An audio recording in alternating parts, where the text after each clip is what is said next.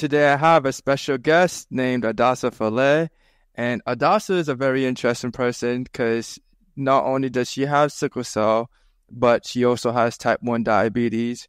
And she's uh, a mentor for her program in the UK. And so she does a lot for the people with sickle cell and she mentors people with sickle cell disease and trains them and and helps them be better people. So I'm excited to have Addassa on and have her share her story. So Addassa, um, yeah, what's it like uh having your mentorship program for the sickle cell youth?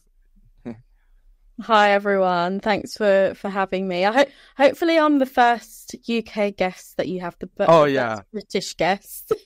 you are, yeah. Um, oh, perfect. So yeah, no, it's it's really um, an honor to to be a part of this program, um, and I can I can give you a bit of a background to the program. So in the UK we have um, a, a charity called the Sickle Cell Society uh, which is a lot of S's, I know, um, but it's it's something that um, a lot of people with sickle cell in the UK really rely on.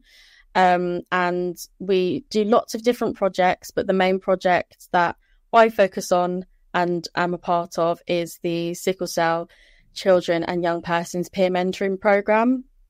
So it's a program where we basically get um, anyone that's be- between the ages of 10 to 24 and we pair them with patients who also have sickle cell um, and give them some mentoring over a period of six months. We build up a relationship with them.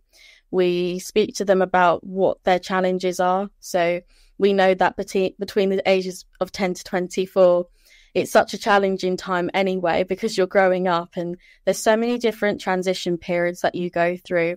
But then when you have a long term health disorder like sickle cell, we know that it's so much more challenging because you've got to think about how you take care of yourself with this disorder as well. So we really, really strive to give that mentoring to as many people as possible. Right now, it's in London, which is our capital for anyone watching.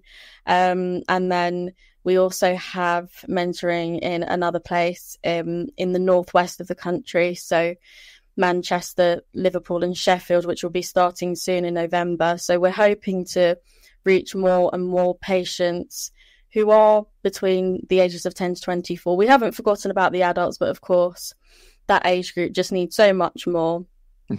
um, and so, yeah, it's been really rewarding. It's really lovely to meet young people well, younger than myself, um, uh, who who are just amazing young people who have goals, who have aspirations, and it's just amazing to to see them achieve that through the program.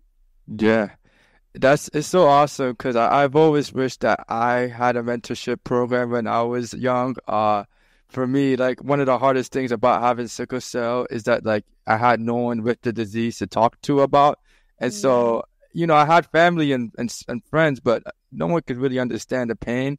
And back then, I was even embarrassed to share my story. So it's it's good that you have a program like that. And for you personally, what has it been like mentoring people? I've I've always um loved the idea of mentorship, and I've I've always wanted to be a part of a sickle cell mentorship program. So, what is it like mentoring kids with sickle cell?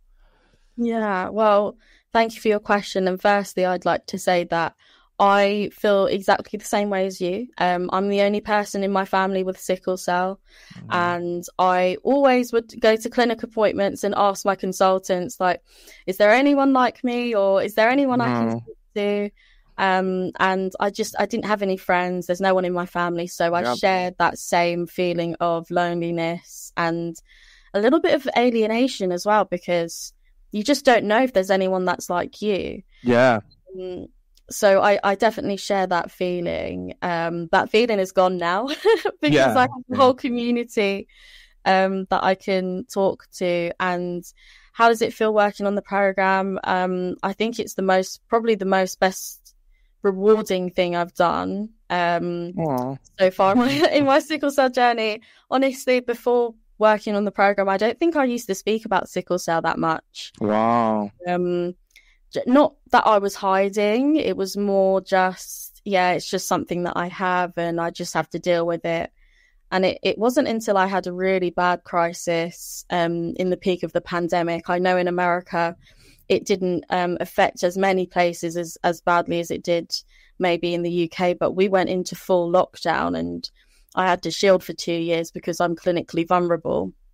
Um, mm-hmm. And it it wasn't until I had a really bad crisis brought on by the fact that I caught COVID, and that oh, was the wow. reason. Yeah, it was it was really challenging. So that was the reason why I signed up for the program because it, it was probably the most loneliest, worrying, stressful time in my life where wow. I just thought, actually, I just I, I think I lost all hope. I think I lost a lot of hope. I was very lonely. Mm. I didn't know what else to do really because I'd finished all of my studies. I didn't know if I was going to get a job because, of course, the pandemic. And, you know, it wasn't until I saw that job post that I thought, you know what, there's other people that I could probably help, other young people that are feeling exactly the same way as me. Mm-hmm. And it's been the best thing ever since having community, having people to speak to, having um, people who can advocate for you on your behalf when you're not able to, um, and just being able to have people around you that just understand, mm-hmm. that just get it because they they do, they just they get it. Yeah. So yeah, probably the best, um, most rewarding thing I've done so far. Wow, that is that's that's great to hear. I'm I'm glad that you're able to find fulfillment uh mentoring people with sickle cell. That's that's beautiful. And sorry to hear about you having COVID. Uh I mean the pandemic hit America pretty hard too. And one thing that I was particularly worried about was the fact that I had sickle cell disease and there was COVID. And I know for me it was like very psychologically hard because um, I know you already know how COVID was affecting people without sickle cell, and then us being clinically vulnerable and having like a lower uh, immune state. I was I was even more worried. So mm. when I there was actually a time I thought I had COVID, but I think I was just panicking and I didn't actually have it. Oh, wow. But um, but that panic state made me think that I was in a I had COVID and and I ended up going to the hospital only to figure out that I didn't. Uh, mm-hmm. so you actually had COVID, and I'm curious, what was that like having COVID, and do you feel like it conflicted with your sickle cell? Uh, yes, it did. Um, it was, it came on really strong. I know that I've spoken to a few people that have had COVID, both people who have sickle cell and both people who who don't have sickle cell. Mm-hmm. And I think with COVID, it did affect everyone differently, still does affect everyone differently. Um, I think for me, it definitely played on my weaknesses, which mm. are, of course, having sickle cell, but also being type 1 diabetic. And I got ill very, very quickly. Mm. Um, it was, it, it just happened very, very quickly. Um, and it, it was over a weekend really i felt unwell the friday the saturday i was worse the sunday I was even worse and the monday morning early hours i went into full-blown crisis and you know from a sickle cell perspective most people will tell you that they tend to sickle in certain places so it might be their arms it might yeah. be their knees it might be their back or or somewhere for me it's usually the hip or the the oh, knees oh, wow the the hands mostly. Wow. And, um, but this time it wasn't anywhere that I'd had it before. It was everywhere. oh. it was everywhere. Um, and it just spread so so quickly. When I ended up going to the hospital that morning, it was a Monday morning. I came to hospital and they said, "Did you know that you had COVID?" And I said, "No, I just felt unwell oh. over the weekend. I thought I had tonsillitis." Um, the crisis the crisis pain was um, out of this world. It was it was something oh, never ever experienced before. Um, on top of that, I had the COVID aches, the famous COVID aches that everyone about. They're not nice. Um, so I was in a lot of pain, um, and I spent five weeks in hospital.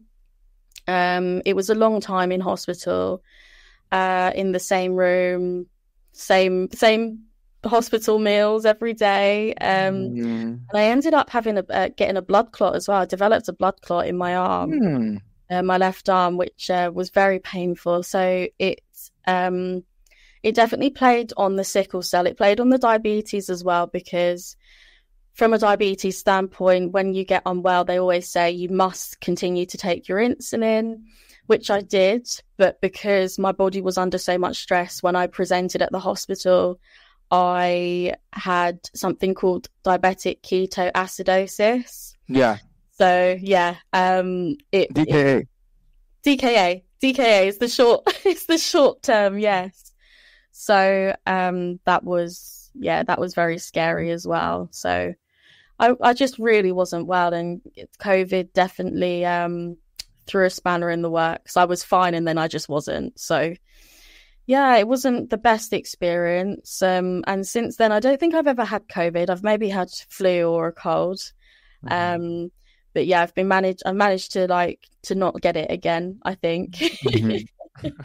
yeah, I uh, I had yeah when uh, when I have a sickle cell crisis, uh, for me, because you said like everyone has a sickle cell crisis in like particular areas. I know exactly what you mean. Mm. For me, it's like on my arms. It would happen on mm. my arms, or um, the worst part, the worst place for me is my back. It, if it happens in my back, then it's it's a really bad one for me. And so I I, I empathize with your pain.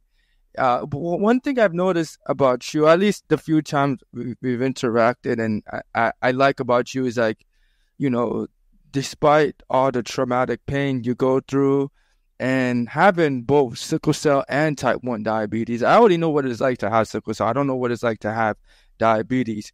You, despite having all those conditions, like you're always very like cheerful and positive, and you have a smile on your face, which I absolutely love and admire because I know that's not hard to do. So I'm curious, like, where do you manage to keep your optimism? That's such a good question. Um, I think it's mostly because I just have. I feel. I feel if you do think negatively, things tend to things tend to spiral. And I think going back to my example of being in hospital for five weeks with COVID, I was probably at my lowest point mentally. Uh-huh. Um, I was not. I, I was not thinking positively at all. Um, I just thought, you know, I'm probably going to die here. I'm so unwell. I was like, I was crying every day. And don't get me wrong, like since then, I've had other admissions where I've found it really difficult, but that one really sticks out to me. Mm-hmm. And I mm-hmm. think you know, when people say to me, Oh, you're so positive, like, how do you remain upbeat? I think it's just because in the past where I've maybe slipped and not remained positive, yeah, it's just tended to last so much longer than it needs yeah. to. So I think as much as it is difficult and it is hard and you do have a cry sometimes and it is sometimes really taxing on your mental health, you've got to find a way to to just keep going because I sometimes just say to myself, you know, I am going to come out of hospital. And when I do, I'm going to have this planned. I'm going to see my friends. I'm going to see my family. I'm going to see my dog. Yeah. it means a lot to me. And, you know, it's just, you've got to find a way to look forward and look outside of the four walls that you're stuck in because mm-hmm. it will come to an end. And, you know, you have to just think about how you're going to cope when you get out.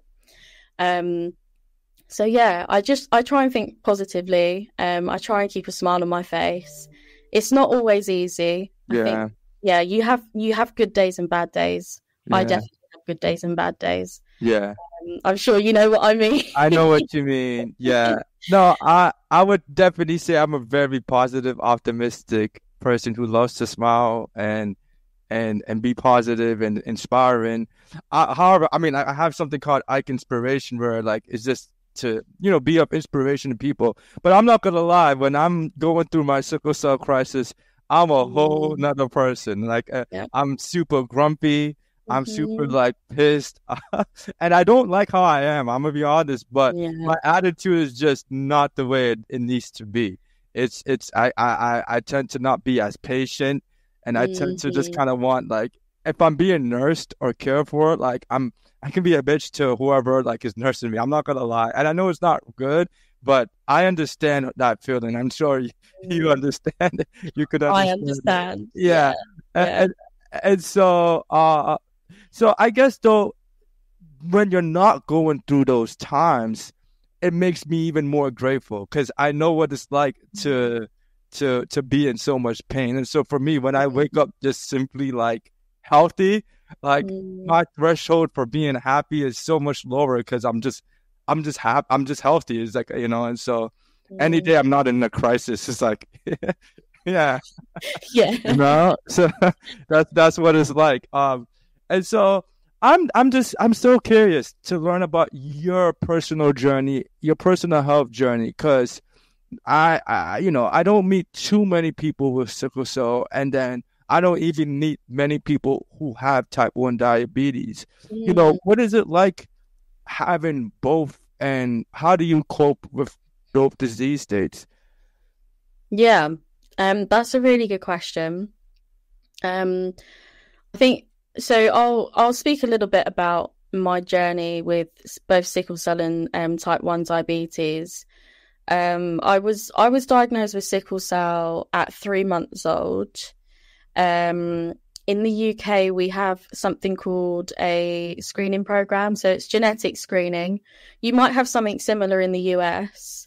Um, but this screening program is it was introduced in the year 2000 and essentially it's used to screen for genetic diseases um, one being sickle cell. But obviously i was born a little bit before 2000 so it wasn't completely in the swing of things um, when it came to screening.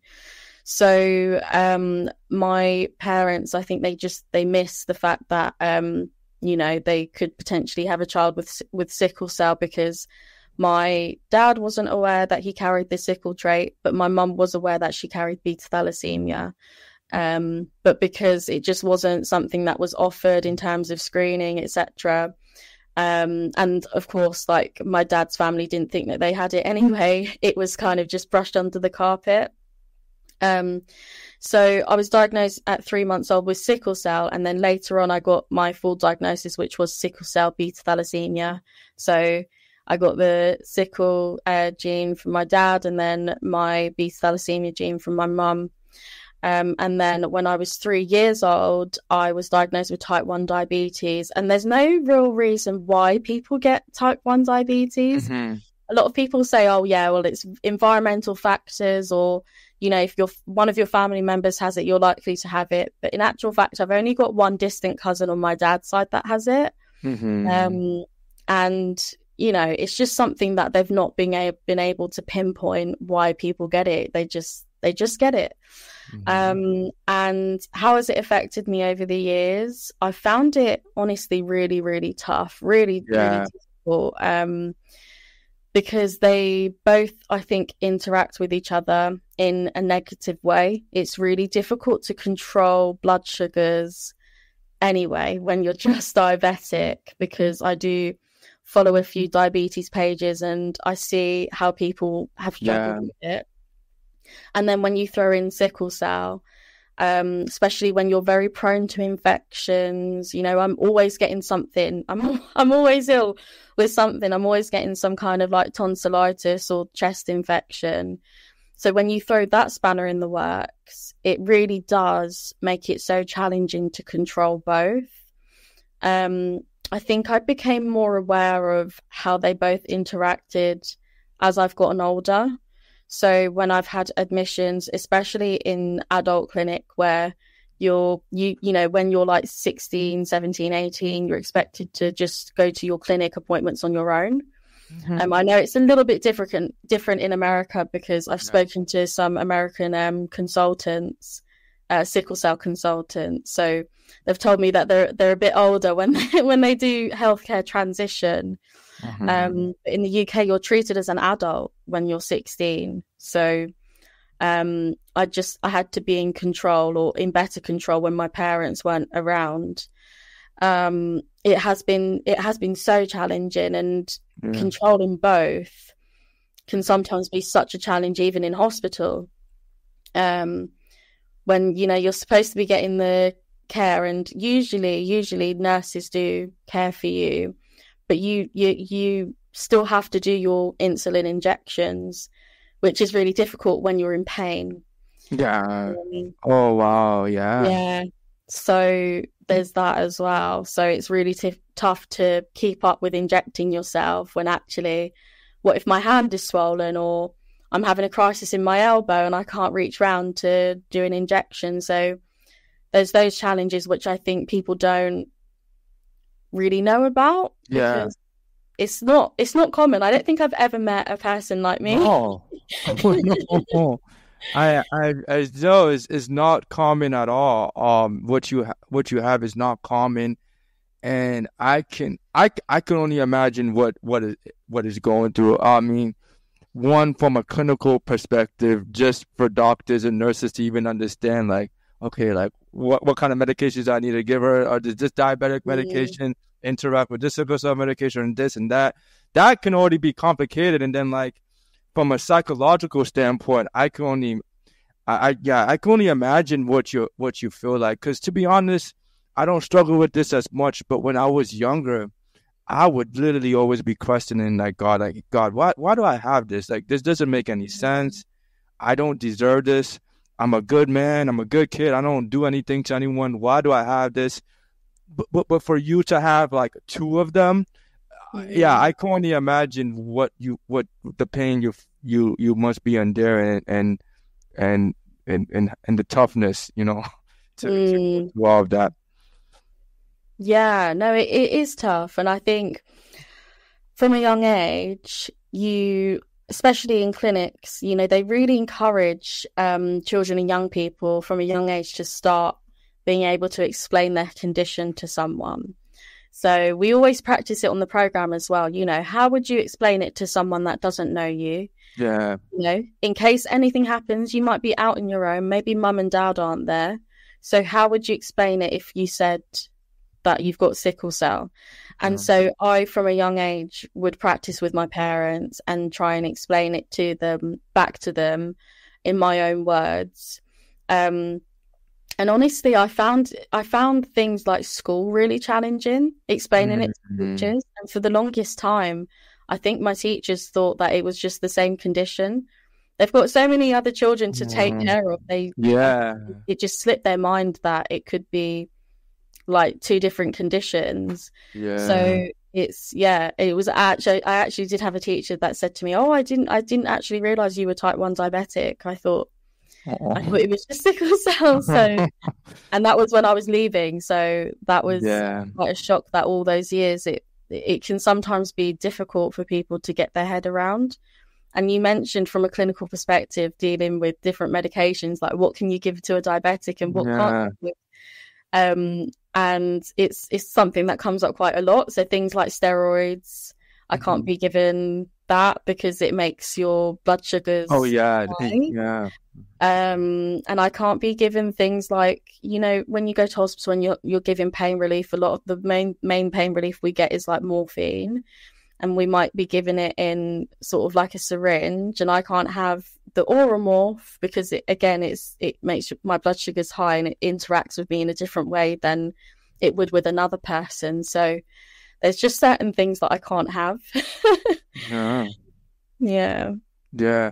Wow. Yeah, that that's that's that's very interesting to hear. And so for you personally, uh I'm just curious like which disease state feels more like a burden for you or uh you know, it's harder to to manage?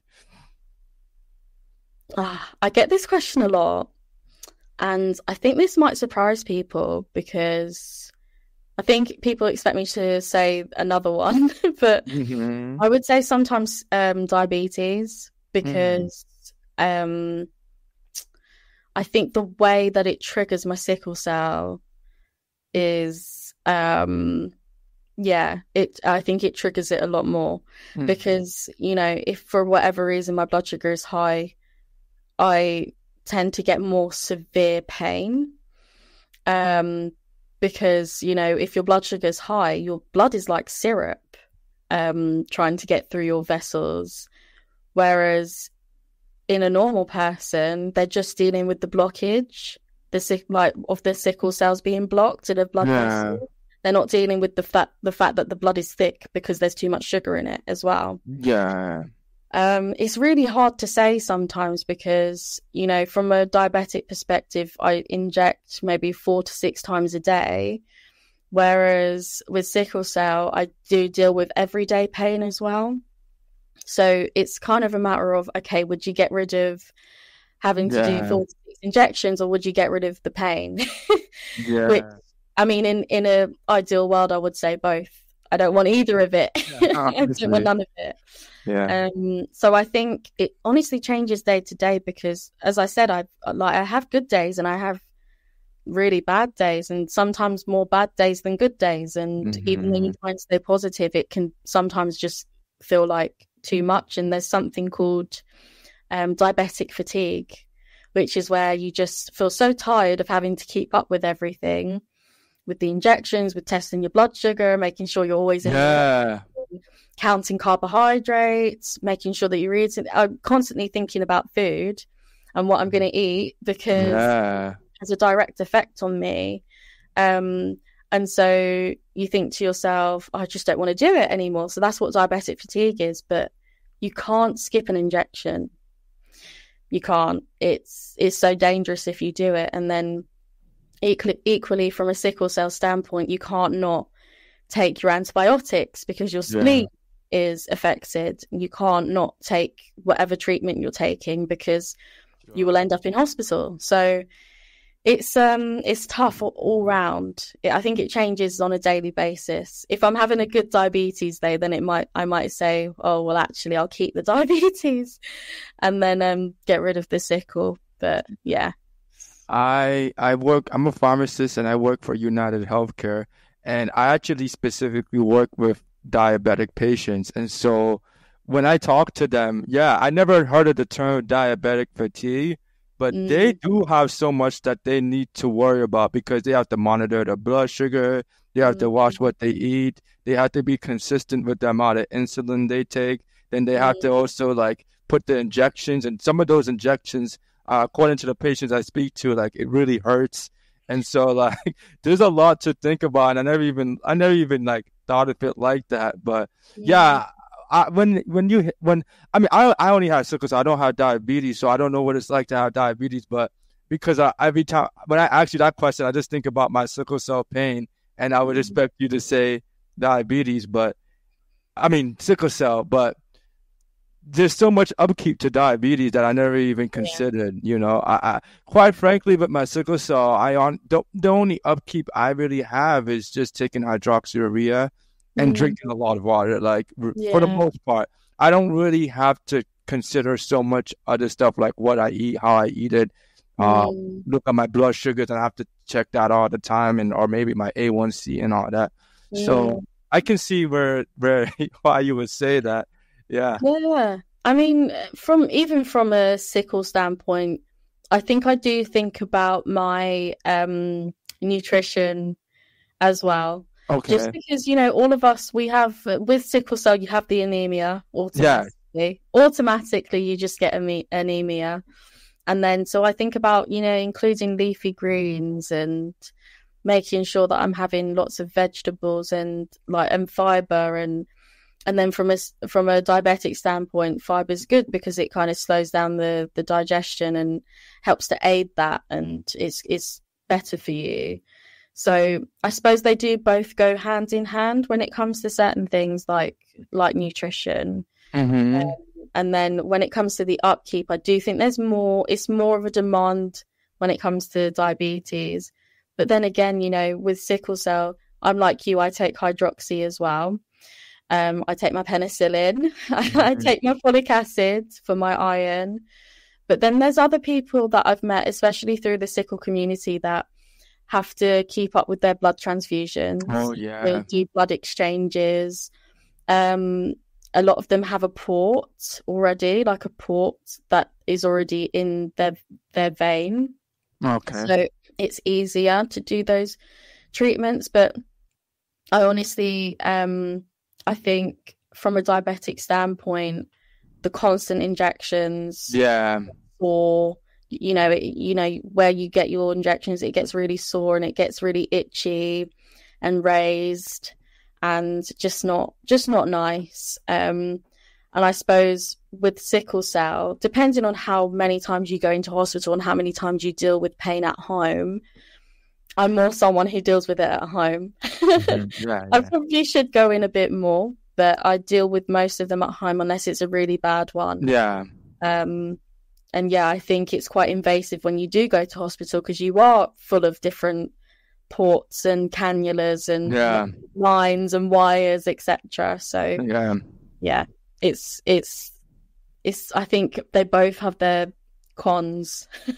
yeah, yeah. And I guess honestly, it's probably at the time it's like whatever you're going through the most. So I'm sure when you're having a sickle cell crisis, you probably would say, oh, "I don't want sickle cell." But when your diabetes mm. are acting up, you probably pick diabetes. Yeah. So yeah, and and I can relate to that need to want to stay at home as long as possible mm. and not mm. go to the hospital because sometimes um just going to the hospital can be depressing and it can be like a reminder of like I guess I don't want to say your failure, but just how poor your health is. Yeah. And depending on where you go, there's just some hospitals that don't deliver great care. Uh, yeah. And so I'm in. I used to live in Boston, and I felt like the medical system there was a lot better. Now I live in Atlanta, and don't okay. get me wrong, I love Atlanta. It's a great city. I, I love it. I, I, I don't see myself leaving. But one of the things that's not so good about it is like their healthcare system isn't as up top to notch. So when I'm in the hospital there, I don't feel um, as cared for, or I don't feel I don't trust their system as much, to be honest. So I try to, if I'm going mm-hmm. through pain, I I try to take care of myself to the best of my abilities at home. But yeah. obviously, if it gets really bad, we, we got to go. You know, yeah. You do you do have to go because um, it's. I think the earlier you go, the better the better it will be for you because you can escape any long term things that come from it. So, you know, I've I've heard some really tragic stories where yeah. know, people have delayed it and ends up in a really bad way because they've delayed going to yeah. hospital. And they might delay for many reasons. They might just say, actually, I don't think I'm that bad, or they yeah. Say, I'm I'm a bit scared. I don't know if they're going to take me seriously. So there's I think there's loads of different reasons, but I think if you can catch things early, yeah, it's better to just go. Yeah, yeah, and I mean, and and obviously you have to fill out because there are some times where like you have the pain and you can feel it, but it's like very minimal and it might go away. Yeah. I don't know if you know that pain. I I have that a few times, so I don't think that would warrant a hospital visit because then you in the hospital like ten I don't, all the time. But yeah. then just times where it's like you can just tell it's full blown and it's not normal, and he's like, "All right, I yeah. gotta go." So yeah, yeah it's, it's, essentially a lot of listening to your body, and so you know you have these two disease states, and you talked about how like your diabetes affects your sickle cell. Um, does your sickle cell affect like your diabetes? Yes. How so?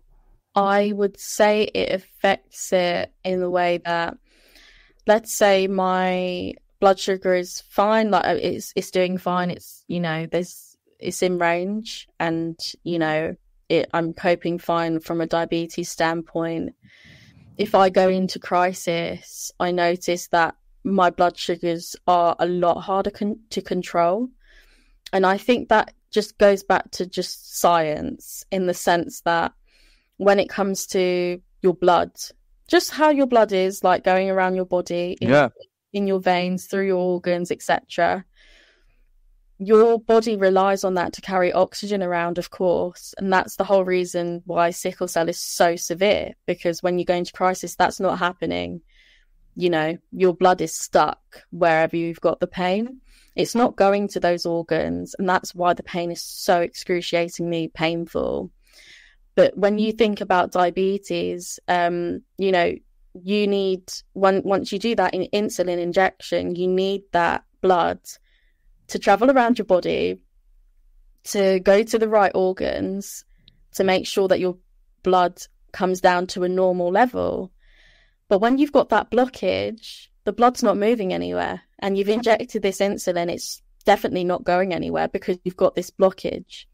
And so it becomes just a cat and mouse game of, you know, do I inject more?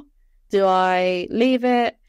What happens if I leave it? Um, sometimes I find that injections are just not working at all, like my body's not responding to it. And so I have to go on something called an insulin infusion, mm-hmm. um, which is where they essentially um, put it through a vein. They'll put the insulin through a vein mm-hmm. and they'll put it on a sliding scale where they just, it keeps dripping in all, mm-hmm. all day long, all night long through the vein. And that's usually something that brings me down.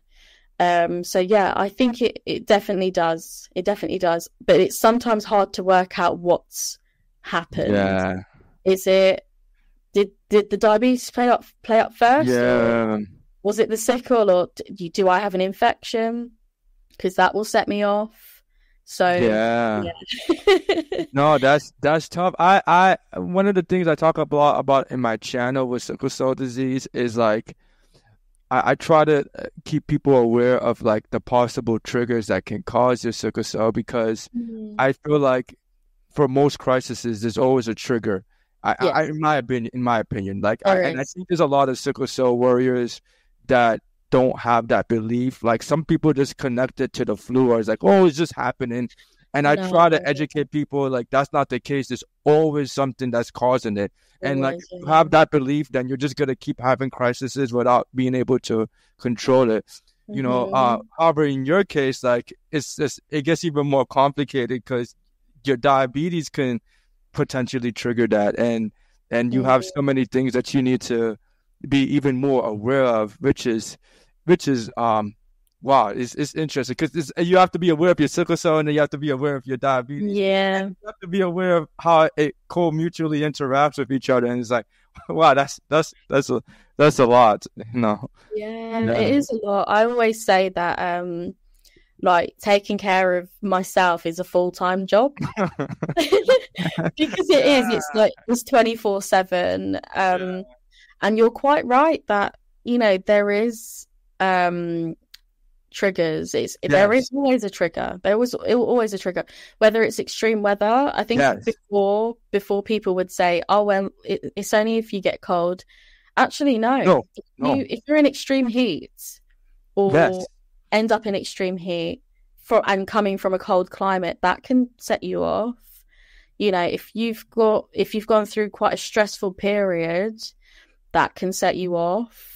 If you have overexerted yourself, whether yes. through exercise or just doing too much too yes. soon, that can set you off.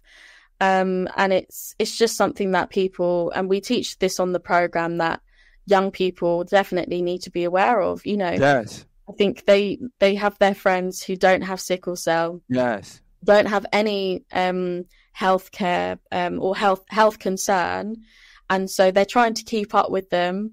Um, yeah.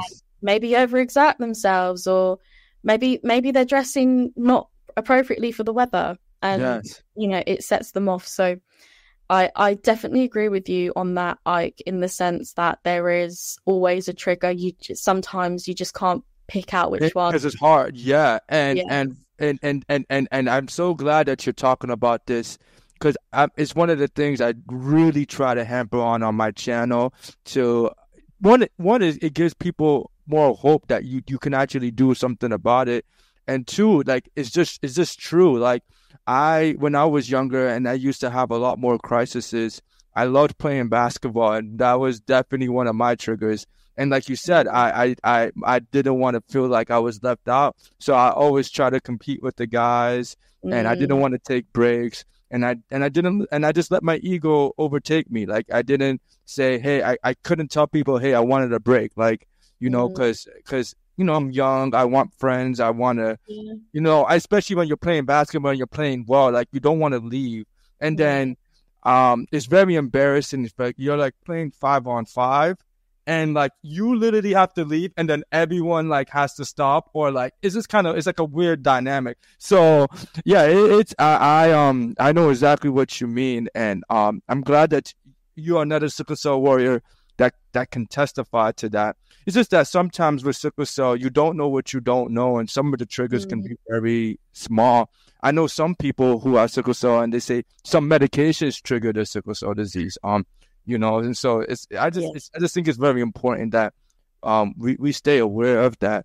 Um, so I I, I also just want to, you know, talk about um the state of sickle cell in general in the UK because that's also really fascinating. You know, whenever I'm talking about sickle cell disease, I'm usually speaking from a perspective of uh, from an American, and yes. That's just where my life has been. I'm in America all the time, like you know, mm-hmm. and so mm-hmm.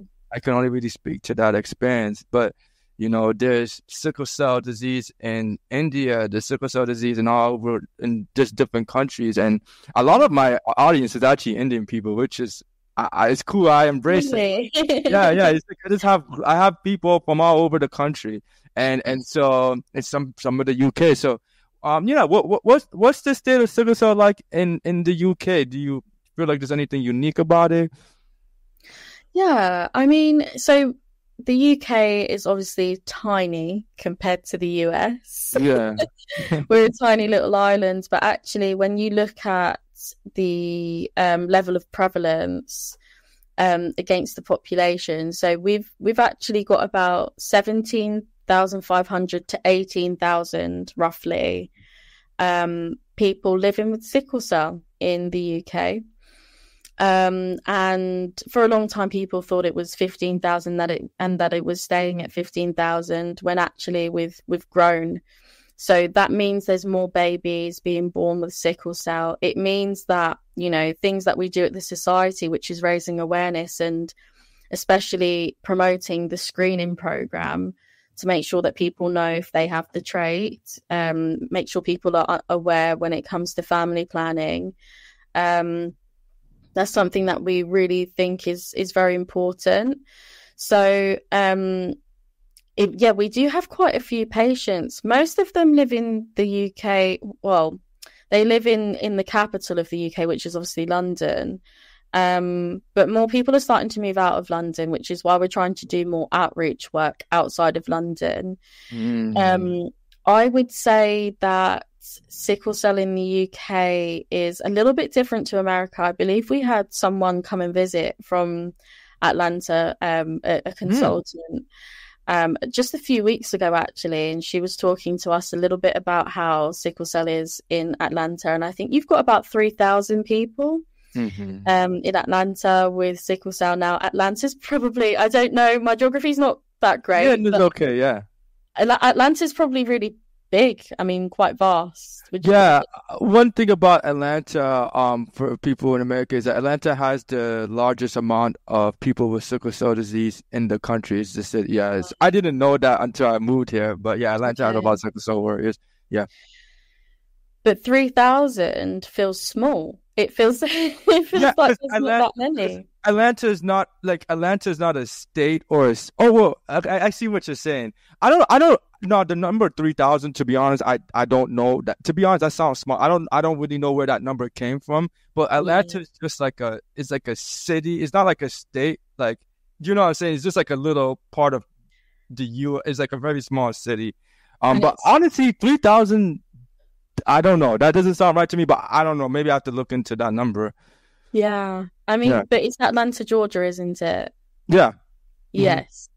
So Georgia, I mean, I can't even begin to imagine because I think some I, have I've read this that sometimes yeah. crossing states can take about eight hours.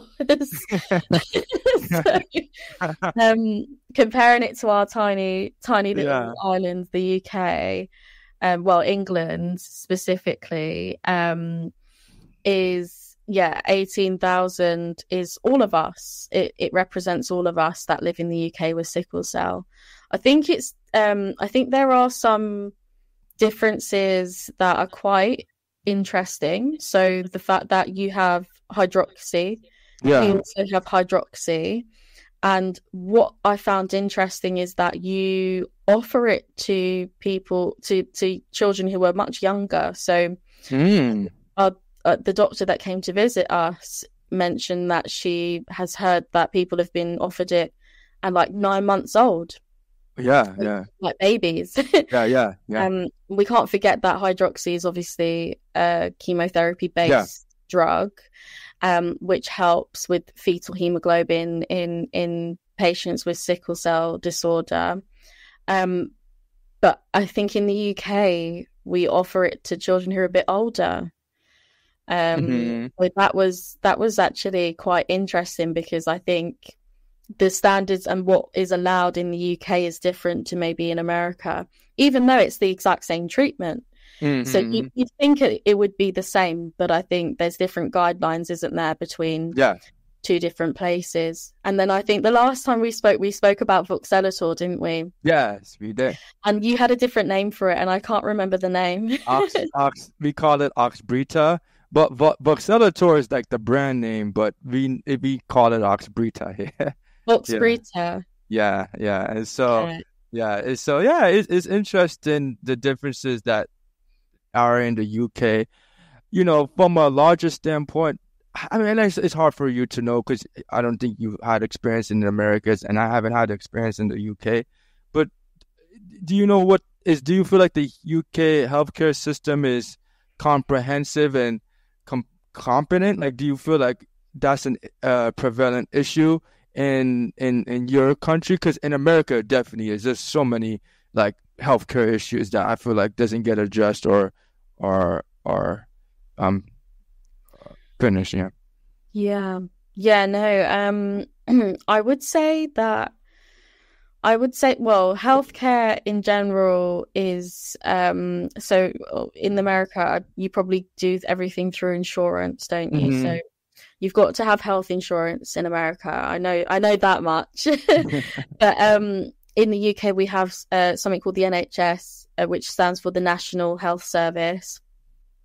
And essentially that gets taken through our taxes. So anyone can just go to the hospital and use any of the services like GP services, etc.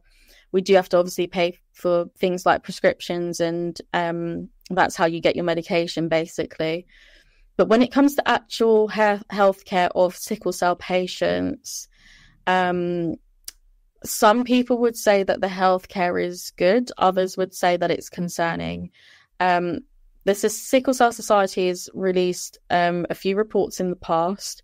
One report is the No One's Listening report, and it goes into Mm. the health um, the health inequalities that sickle cell patients face in the UK.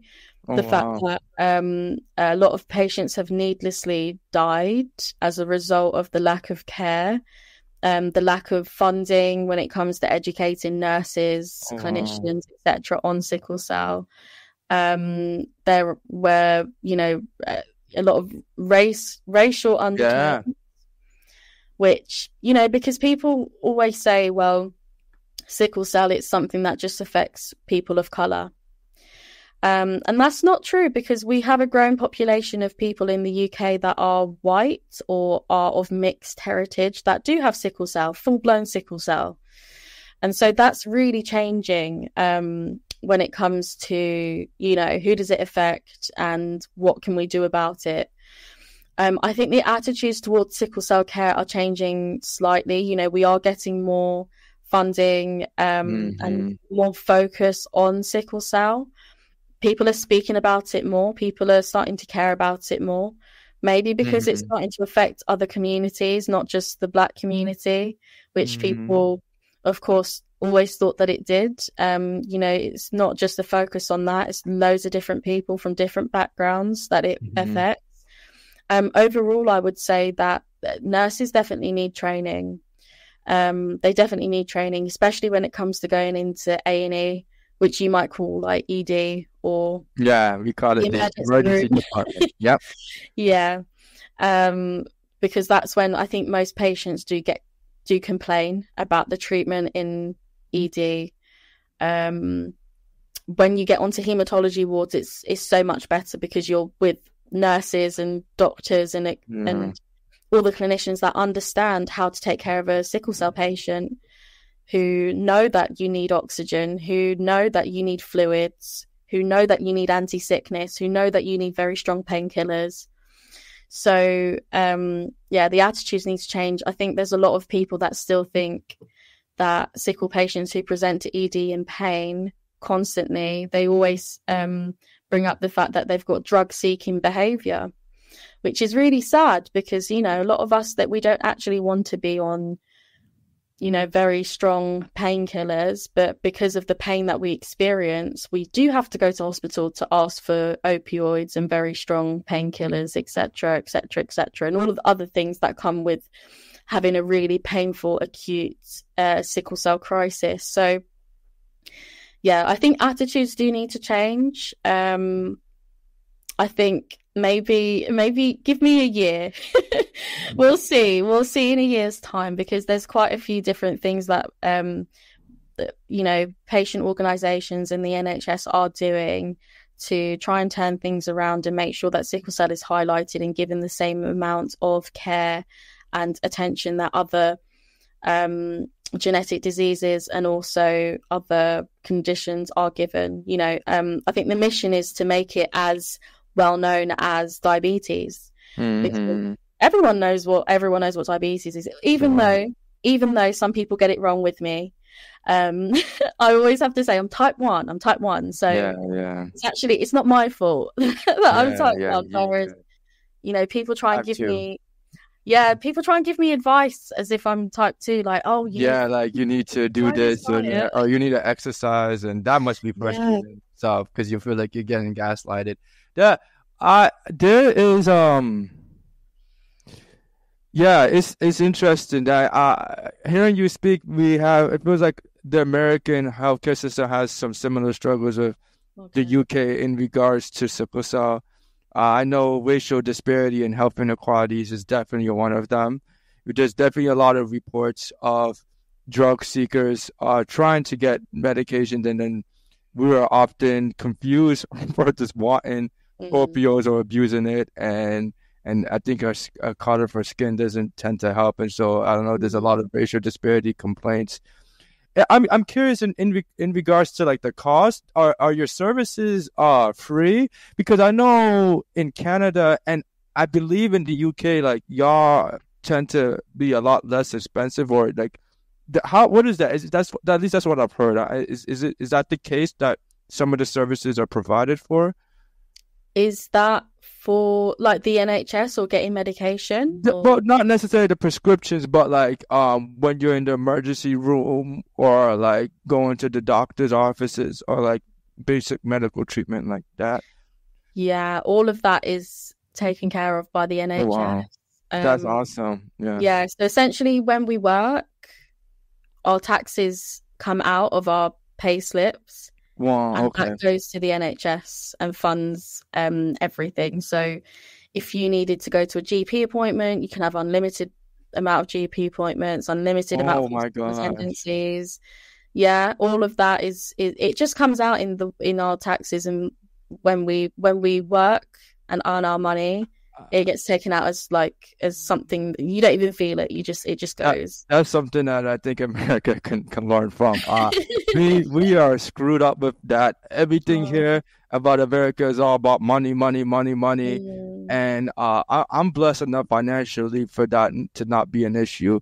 But I know there's some people with sickle cell crises who won't go to the the doctor simply because the cost. Like they don't want to mm-hmm. go to the doctor or the hospital or emergency room, and I don't blame them because the, it is it can it can be really costly to go to the emergency room, and so some of them would literally just want to stick it out just for that reason.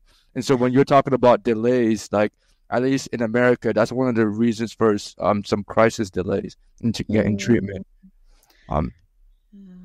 So yeah. that's that's quite concerning because you know you think to yourself, how does that affect things like mortality rates? Yeah.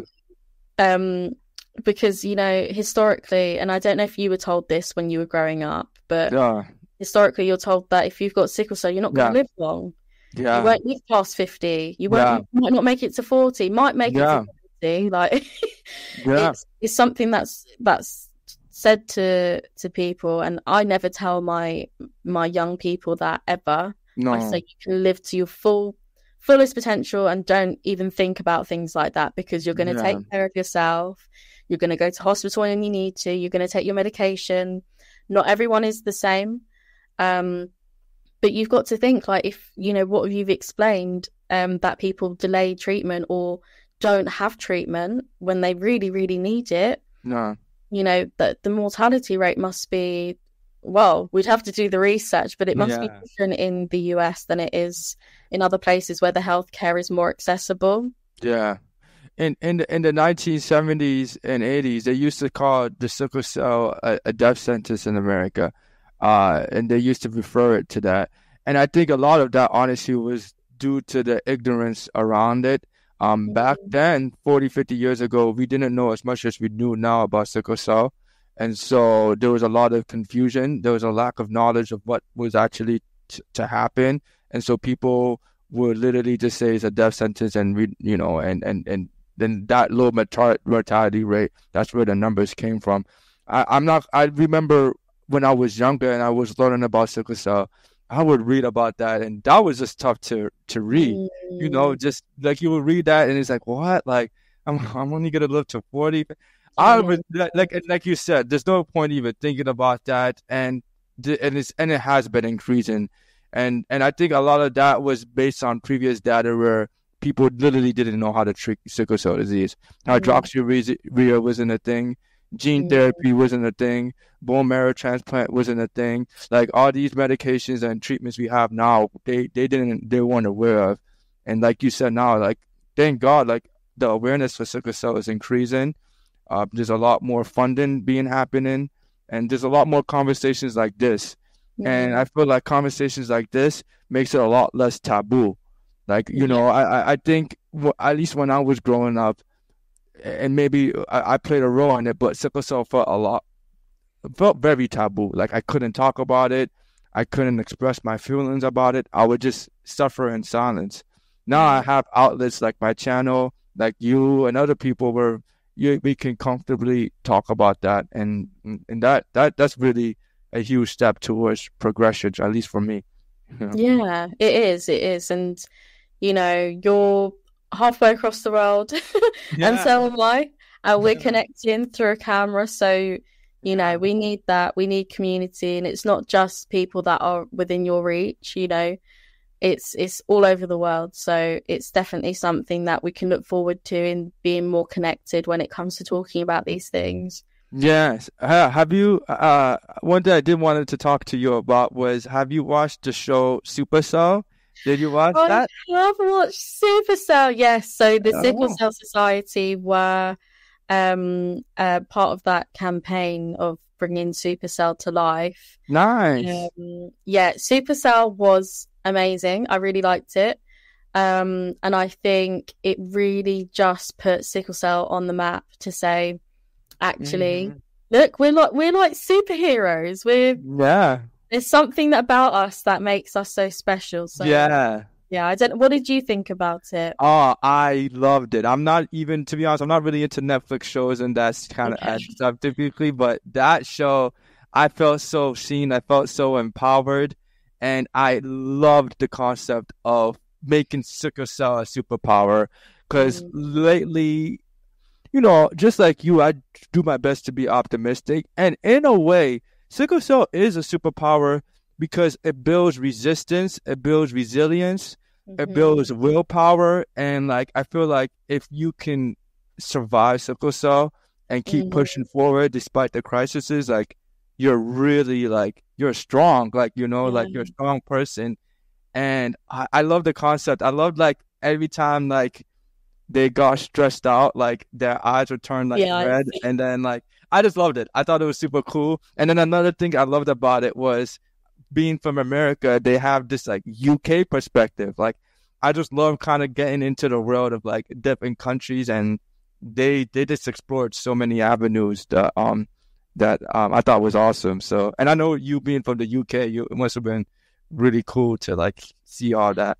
Yeah, it was it was I knew I knew about it. I actually did know that they were doing something that we were doing something with Netflix, but um obviously we we did have to keep it quiet until it came out and um but I watched it just the same as everyone else. I didn't get like a, a preview or anything. But um, it was really quite nice to just see that it's being portrayed in a positive way. Yeah, because I think a lot of the pre- a lot of anything that you watch about sickle cell is, is sometimes portrayed in a negative way. People always talk to you about the complications, how you could have a stroke or a heart attack, yeah. all of these other things, which, you know, of course you do have to be aware of. But the fact that they had a really positive spin on it, yeah, think was just really, it was nice to see. It was useful uh, information, I think, for people. Yeah. And I think also it highlighted Black British culture, which yeah, that was really cool too. Yeah, yeah. it might have been a bit um like a like maybe you were thrown into maybe what London is like. Yeah, yeah, yeah. That Yeah. that that the accent threw me off. Like I, I, I was like, well, like they they like, there was like hood gangsters sounding like I don't know what they were saying, but I was like, ah, cool. Like I, I liked it. It was cool. I liked it. Like and and like it was. I felt like I was in a whole new world, and you know, um, and I just I also just I liked how like they also showed what it was like to have sickle cell. There was some scenes where Mm. the mom was having a crisis, and I, I just I just love the concept of it. I thought it was it was creative, it was fun, it was Mm. engaging, and I hope I hope in the future we have more um creative ways of expressing sickle cell because that was just so original. I was I was I loved every single second of it. I'm not gonna lie, I loved it. Yeah, yeah, I'm glad to hear that. I, I loved it too, and I'm Yeah. I'm excited. I'm someone who binges things, so okay, I I'm excited for season two, so I can yeah. well. well, we're looking forward to that, and yeah, and Addassa, it's been it's just been, it's been great speaking with you. I'm so glad that you got to share your story with sickle cell and type one diabetes, and I think your journey is very inspiring, and you know, I, I'm I'm just grateful to have the time to speak with you. You know, before we leave this podcast and this conversation, is there any anything you would like to give, uh, any words of advice or a piece of inspiration or anything that your heart feels like you would like to say before leaving? Yeah, I think firstly, thank you for inviting me on. Yeah.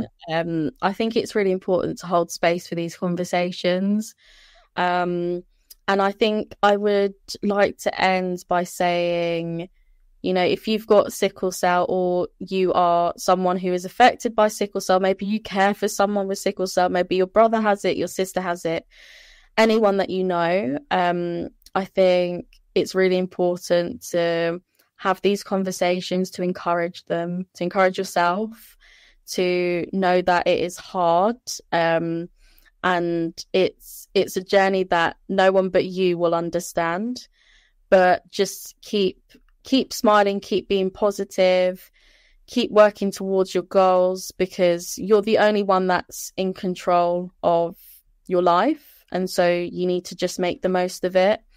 Um, keep taking your medication, keep going to hospital if you need it. But of course, um, the main thing is take care of yourselves and make sure that you have the support around you. Don't be like me who didn't didn't want to talk about sickle cell because now I have a community and I just know exactly how much I was missing out on. So find people who you can talk to and be safe with and yeah that's that's all I've got to say. So yeah, just keep keep being keep being happy. yeah, I love it. Keep let's let's keep being happy and staying Yeah. positive. Love it. For those who would like to reach out to you or or perhaps learn more about you or um you know or if there's anything you would like to promote, do you have like a social media or a way people can contact you? Um, I don't have a social media, but I do regularly um sort of feature on the society social media. So I know that we are based in the UK, and I know that your audience is very much um worldwide, and Yeah. maybe maybe um more focused in America and other places. Um, but the the fact is that the Sickle Cell Society, even though we're a UK charity, we do sort of um, get involved with other organizations. So, what I would say is go and visit our website or our Instagram page. It's Sickle Cell Society UK. Um, you can go on there, look at any anything that you want to look at. Um, we've got different videos on YouTube as well that help to explain different things. Different complications that you can get. Um, one of them being priapism. We've got a really popular priapism video. Go and check that out. So follow us and message us if you need any advice on things. You can let us know, especially if you're looking to travel to the UK. What what kind of things you might need to think about. Um, mm. So yeah, come and come and follow us on Sickle Cell Society UK. All right. Well, you heard it, folks. If you're interested in traveling to the UK or joining that society, you know, you know where to join and reach out. So, Addassa, thank you so much for your time. Thank you for your energy. Thank you for your presence. And thank you for sharing your story. You know, I wish you best of luck with all your endeavors. Thank you so much. And the same to you. Bye.